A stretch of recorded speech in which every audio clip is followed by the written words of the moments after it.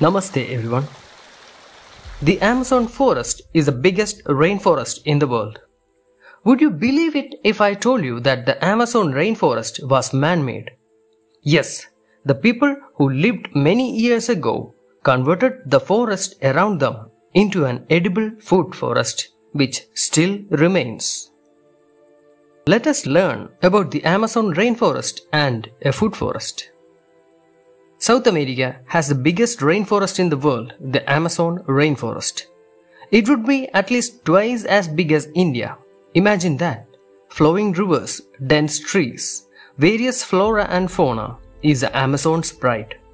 Amazon was first visited by Spanish explorers who went back and told the story of a great civilization in the thick jungle, who had abundant food and resources and a population of around thousands of people living in the villages. They told stories about magnificent houses and buildings. But still, nobody believed that story. Later, after a hundred years, when the European explorers visited the Amazon, there was nothing. There were no buildings, no magnificent civilizations, only isolated people living in small clusters. Where did all those people disappear? Was it just a figment of imagination? In the recent times, LIDAR studies revealed a fascinating fact. Yes, there were buildings, roads, ancient structures hidden in the forest. These were remains of ancient cities which could hold thousands of people all at once. The Amazonian tribes had a motto of existence leave no trace behind. Salvaging giant stones were also very difficult in the forest, so most of their structures were made of wood, which, as we all know, would eventually go back to earth. The Spanish soldiers also carried along with them epidemics and diseases like smallpox, which could have killed thousands of people in a very short span of time. As they traveled through the inland rivers and canals, they would have gifted these tribes with epidemics which those poor people had no clue. They lived in communities and instead of isolating the sick and the wounded, they would gather around, caring and supporting the affected ones, which would eventually decline and decimate their population. The rest of the Amazonian people were stamped as uncivilized and hunted for their land and resources by the Europeans who started a genocide. After this, the remaining true Amazonians were only 2% of the original population. Some years back, in Nature journal, an article was published which threw light into the existence of an ancient civilization with sophisticated culture and knowledge. There are structures called phytoliths in about all plants which is made up of silica.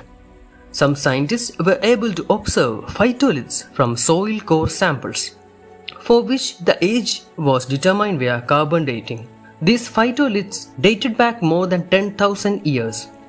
Amazon rainforest had corn and tapioca growing there more than 10,000 years ago. Soil core samples are taken by inserting a pipe or a tube into the soil, digging it down deep, and then pulling it out. The deepest layer will be the oldest, which contained remains of food crops and poultry and man made pottery and ceramics. All these point towards one thing the Amazon rainforest was home to a farming civilization 10,000 years ago. But how can the poor, infertile soil in the forest cater such a huge number of people? Constant rains and surface runoff left the soil too poor to grow crops. Scientists believed before they discovered something in the soil. Terra preta, the Amazonian black earth. The most fertile soil in the Amazon rainforest. Most of the places had the common poor soil around the Amazon rainforest but scientists found terra preta soils which were much different. Sometimes these were spread around acres of land. Sometimes these were small patches of this rich black soil. There are two theories regarding the formation of terra preta soil. Some scientists believe that they were created by natural forces, and others believe that they are purely man made. Whatever the case is, the Amazonians who discovered them amended the soil to make it more fertile. The Amazonians were experts in amending the soil with clay particles, with ceramic particles, with fish bones and bird bones, and whatever organic matter they could find, they will add to the terra preta soil to make it more fertile so that their crops and their fruit trees would grow better. Regarding the settlements, either Amazonian people structured their settlements around the terra preta or the terra preta soil was made by them near their settlements so that they could easily grow crops and bring it back to their villages. The main ingredient in the terra preta soil is charcoal. Not just charcoal, to be exact, biochar. The Amazonians grew up in the cradle of the nature. They were masters of their craft and grew their huge farms on the soil, even to this day. By designed and limited fires, they made charcoal and activated it with the remains of fish, birds, and other organic matter. This continued process of adding charcoal and organic matter and broken ceramics gave rise to a microbial, rich black soil, the terra preta. Now let's look at food forest.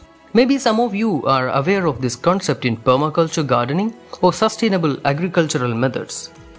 A food forest is defined as a collection of various plants, fruit trees, and perennials which acts like a self-sustaining forest.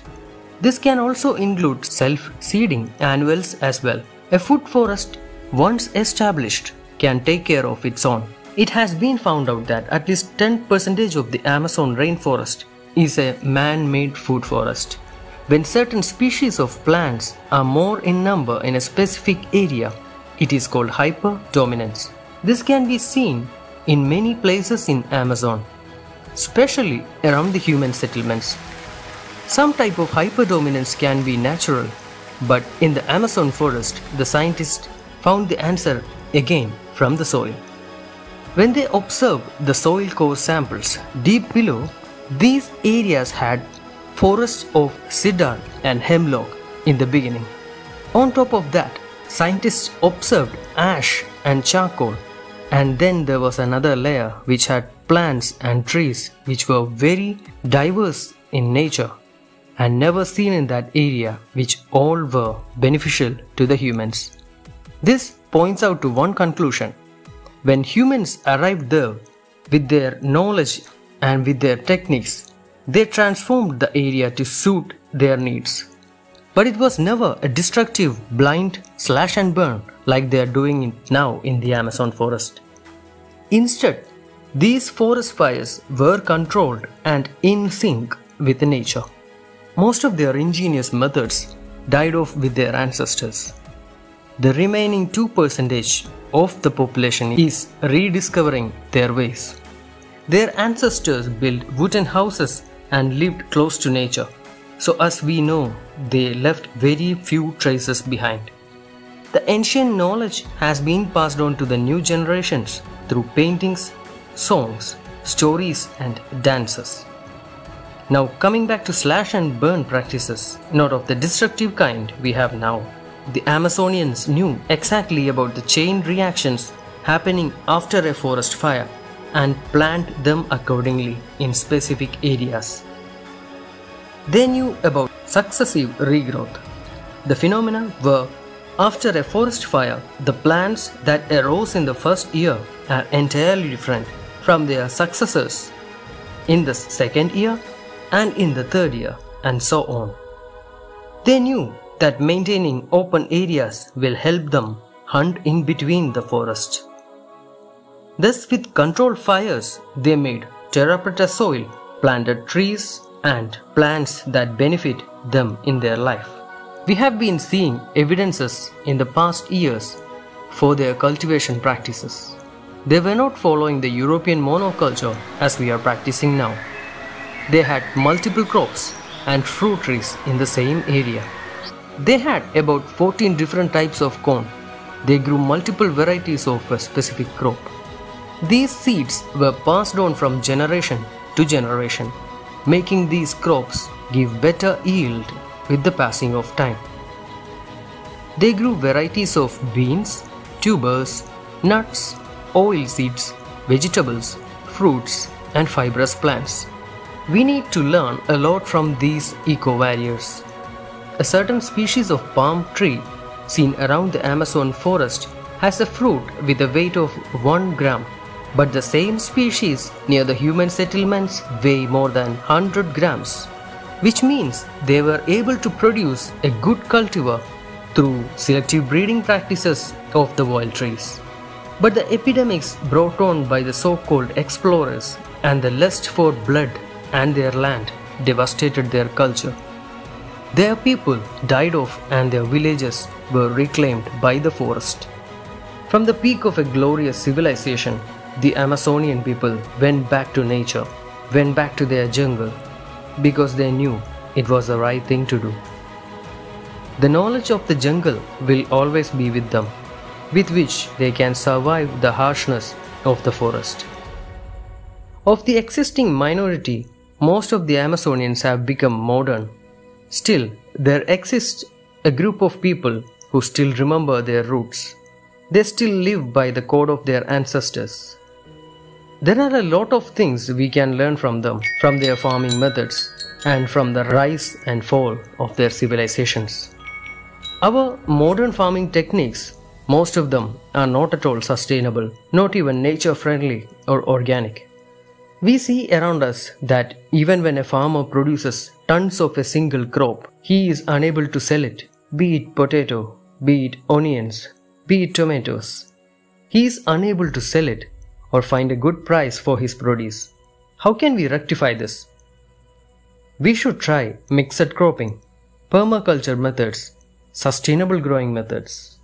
In an acre of land, instead of cultivating a single crop, dig a pond, grow some fishes, grow some aquatic plants. Collect these aquatic plants and you can feed it to your hens, you can feed it to your livestock. You can eat or sell the fishes. The aquatic plants can also become a good compost. We can use the compost to grow different types of vegetables, different varieties of vegetables, Growing fruit trees can be done. Harvesting water and harvesting energies can also be done. Set up a farmer's market and try selling it produce on your own. Try creating an ecosystem. Try creating cycles where there is no waste. Everything produced by your farm in your farm will be put to use in your farm itself. Make it a sustainable. Yes, it is time for us to rethink and reinvent our ways of interaction with the society and the environment. Rather than planting shade trees on our streets, just imagine if we could plant fruit trees. Our kids and the whole environment would be able to enjoy fresh, delicious fruits, and that too purely natural without any chemicals or pesticides. These are the things which we should look into how to interact without destroying the nature and to reap benefits so that the future generation can enjoy the fruits of our labor. With this thought, let us embrace the knowledge of our ancestors and work towards a beautiful and sustainable and a brighter future. Thank you for watching.